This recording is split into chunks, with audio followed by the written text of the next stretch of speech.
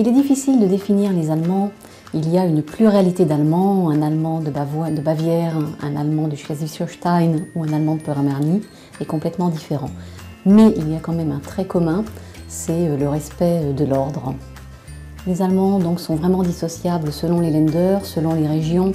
On peut, de façon très, euh, très simpliste, mais découper l'Allemagne en quatre grandes parties. Le nord qui va être peut-être plus, froid, plus distant, avec une, incidence finalement du protestantisme sur le trait de caractère, le sud, et avec comme extrême la Bavière où on aura euh, des personnes, des Allemands extrêmement chaleureux, là euh, plus des caractères influencés par le catholicisme, et l'autre euh, distinction c'est bien sûr Est-Ouest, ce qu'on appelle les Aussies et les Vessises, où on a encore des traces de la partition de l'Allemagne.